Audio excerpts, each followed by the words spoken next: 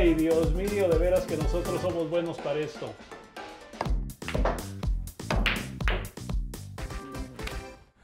Muy bien, bienvenidos a Conversación Gigante y hoy de veras estamos con un gigante de veras, el de Bejuma, el de la urbanización El Rincón, Tairo Estrada. Tairo, ¿cómo estás? Todo bien, gracias, gracias por, por la oportunidad de estar aquí contigo y nada, esperamos que nos podamos divertir y podamos conversar de cosas buenas hoy. Oye, tú nunca habías estado aquí en este lugar, ¿verdad? Primera vez, primera vez en, del 2021 que estoy con la organización este, y entrar a este cuarto se, se siente bien. Tienen una mesa de billar, tienen boliche, tienen juegos electrónicos, tienen de todo. ¿Tú juegas billar? Este, creo que le, le he hecho un par de ocasiones, pero no, no soy muy bueno como coger un rolling, pero, pero puedo competir. Qué bueno, qué bueno, porque yo tampoco creas que yo soy bueno para esto, ¿eh? Bueno, yo la rompo con la mano. no soy muy bueno haciéndole así, pero... Bueno, no, no importa, tú, Bueno, tú. vamos a darle. La idea es divertirnos un ratito. Mira, ya yo entré una. Mira. Y no sabes. bueno, entonces a ti te quedan las, las pequeñas, ¿no? Sí, yo voy con las pequeñas. Muy bien. Oye, me te iba a preguntar. Sacrificio. Tú y yo siempre hemos tenido conversaciones profundas hablando de ese sacrificio que, que una persona hace. Yo quiero que, que nos expliques ese sacrificio que tú tuviste que hacer para alcanzar tu sueño. Sí, mira, este, difícil, difícil cuando, cuando tú estás en, en- en una posición la cual no, no tienes el, el nivel monetario suficiente para cubrir eh, el tipo de necesidades. Este, yo siempre he tenido el talento, obviamente, pero la situación económica de mi, de, de mi familia no era suficiente para, para cubrir eventos grandes como representar a, Venezuela, eh, representar a Carabobo. Representé mucho a Venezuela y a, a Carabobo gracias a ayuda de otros representantes eh, que tenían la oportunidad económicamente y como yo era muy bueno y, y tenía siempre ese instinto, le caía bien a la familia, entonces ellos decían, no, tranquilo, este, yo me lo, me lo llevo y nosotros cubrimos sus gastos. Ya una vez cuando tomo la decisión de, de entender que podía obtener una firma para, para ser este profesional, viene otro proceso muy largo también. Este, cantidades de jugadores que están buscando una, una oportunidad. eh, en esos tiempos eras muy pequeño, eres muy flaco, no va a crecer, no va a tener mucha fuerza, ¿sabes? Mucha, mucha este, escao, por así decirlo, este, no, se arriesgan mucho, ¿no? Porque obviamente es su trabajo. Pero nada, este, dimos bastante trompezones, pero nunca dejé de creer de que, de que lo iba a lograr. Este, me recuerdo que tenía a Yankee y a Boston como a los dos equipos que solamente firmaban superestrellas. Entonces dije, no, no vamos a buscar trabajo con ellos porque, imagínate.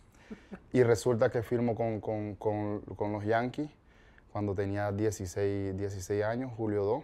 Este, te toca, las chicas. Un- no sé cuál de todas, pero La pequeña, ¿no es? sí, las pequeñas, esa. Bueno, vamos a darle a esta.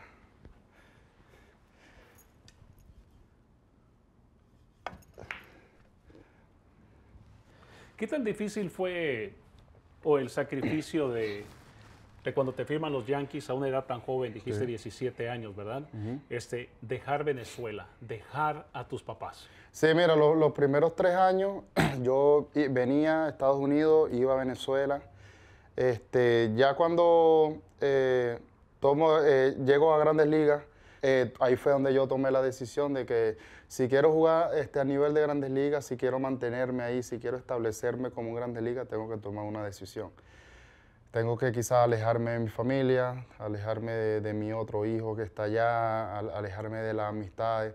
Este, no pensé que, que me iba a golpear tanto, porque fueron tres, cuatro años sin estar con mis padres, pasar navidades en un apartamento en- encerrado con mi esposa. Eh, tener momentos el cual lloraba, obviamente, porque no sentía un abrazo de, de mis padres o quizás, mira, tú tienes días buenos o días malos. Pero nada, todo eso valió la pena. Este, y yo pienso que soy de las personas que cada sacrificio que tú haces y lo más importante de la vida, cada decisión que tú tomas en el momento, yo creo que es lo que me ha hecho crecer como persona, este, madurez, este, porque la vida sigue. La vida sigue y si no tomas una decisión pasa el tiempo y, no haces lo que quieres hacer. Eh, como dicen mis padres, nosotros vamos para viejo, ya tú eres mayor de edad. Este, nosotros creo que te dimos la educación suficiente para que tú sigas caminando y sigas creciendo. Mis padres hoy en día, mira, se sienten súper triple orgullosos de mí, me lo dejan saber todos los días. Obviamente ya cuando tú este, estás mucho tiempo fuera de la familia, el, amor crece más, porque tus padres también entienden que un, tienen un hijo fuera, tienes tanto tiempo sin verlo. Llegó un momento que ya hasta la cara de mi mamá se me había borrado un poco, porque simplemente la veía por FaceTime y, y son momentos difíciles, son, quizás son cosas que para muchos, ah, pero, pero para uno, el latino que es, viene de estar con la familia 24/7, eso, eso pega muy fuerte, pero mira, ha sido un sacrificio bastante importante, bueno y, gracias a Dios mi familia está bien. Deja ver a mí cuál me toca porque...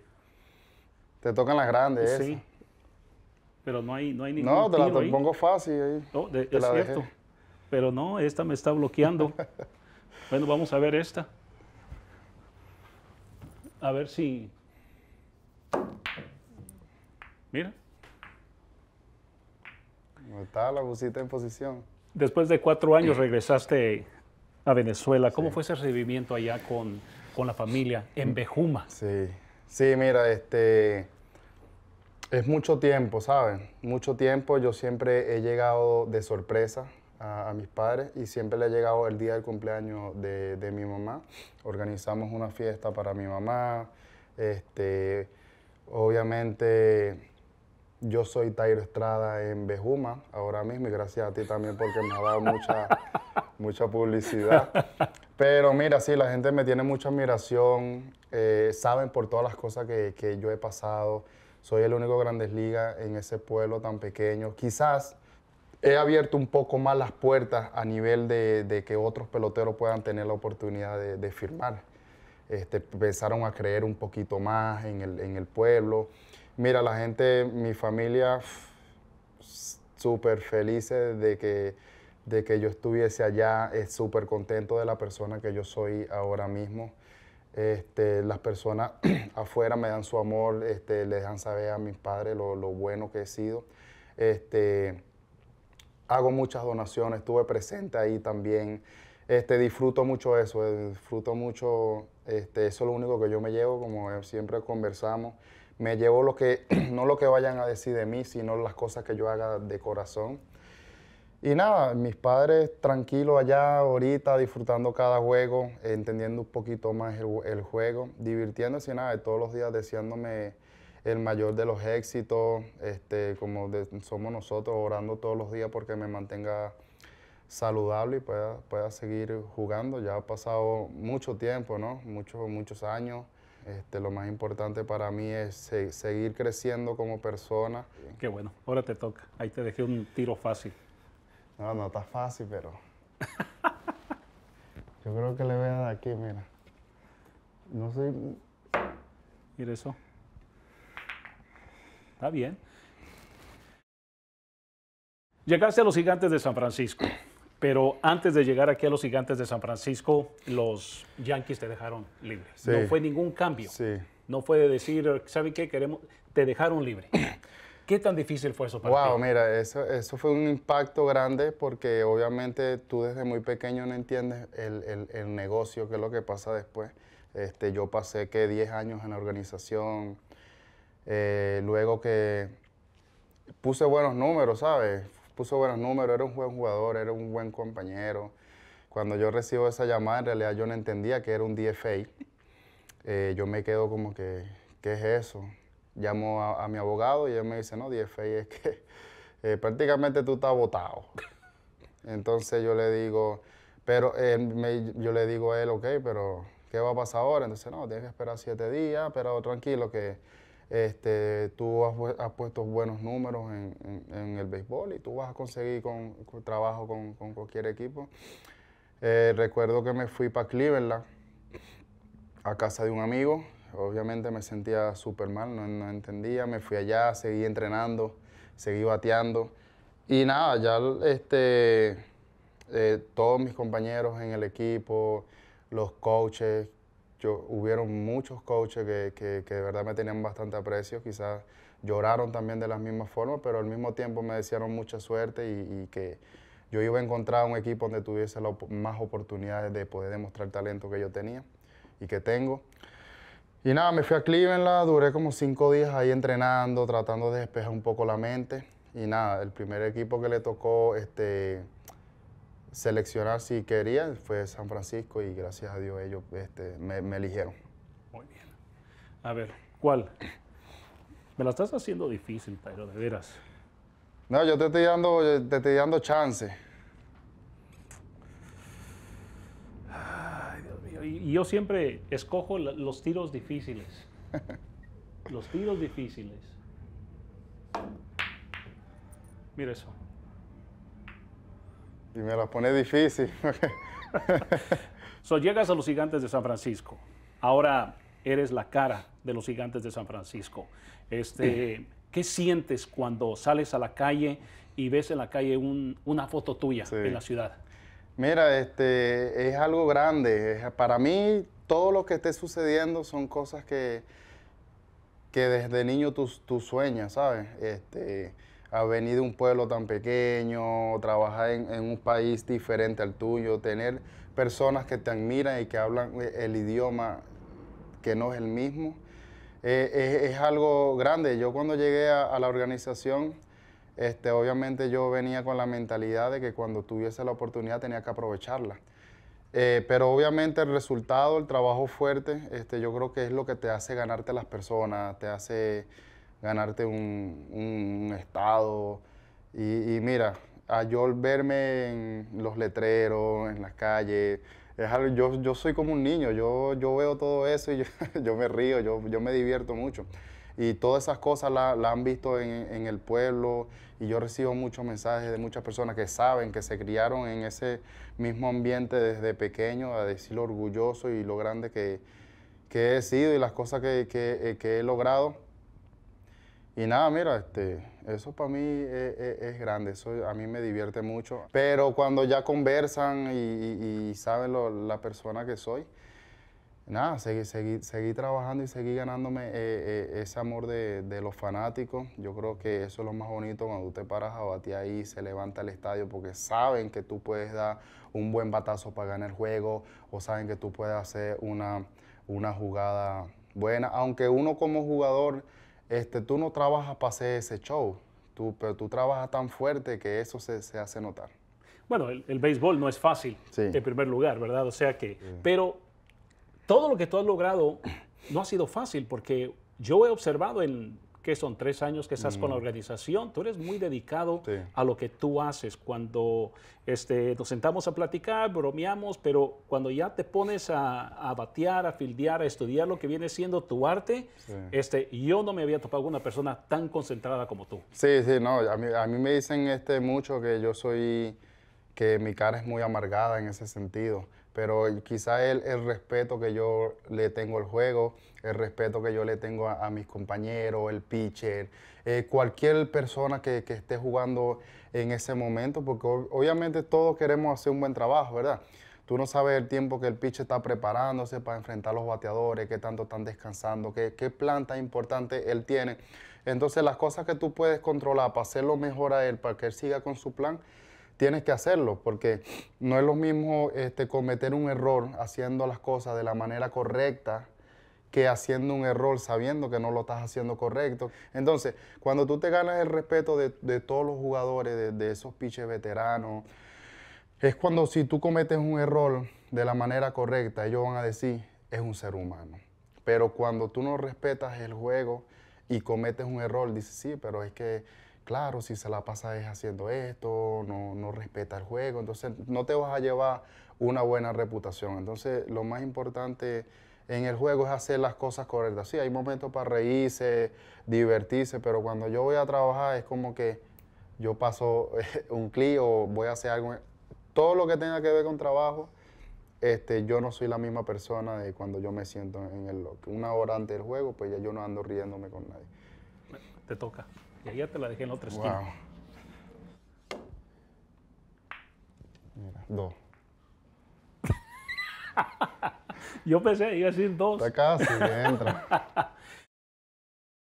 Cada vez que yo hablo contigo, tú eres una persona muy positiva. Este, me imagino que eso es algo que tal vez has aprendido a través de los años o fue algo que, que tus papás te inculcaron de ser positivo, pero a ti no te gusta escuchar nada negativo. Mm. ¿verdad? Y yo creo que el ser positivo, estamos viendo el resultado ahora, ¿no? Porque hay muchas personas que te admiran por tu ser positivo y tu trabajo duro que haces. Sí, no, eso es, eso es fundamental, fundamental en, el, en la vida, en, en, los, en los negocios. Yo creo que es algo que a mí me ha ayudado muchísimo, eh, estar positivo todos los días. Como te lo dije en un momento, yo he pasado muchísimas cosas. Este, que mi mente tiene que estar y ha tenido que estar dura en ese momento para poder afrontarla y salir de ella y seguir por ese camino que para, tú llegar a la cima van a haber muchas cosas, van a haber muchas cosas que, te vas a trompezar y te vas a caer ahora. Eh, si te puedes levantar, si te puedes levantar a, seguir por el, camino hasta llegar a la meta y cuando llegues a la meta, ahora tienes que seguir trabajando aún más por, por quedarte ahí.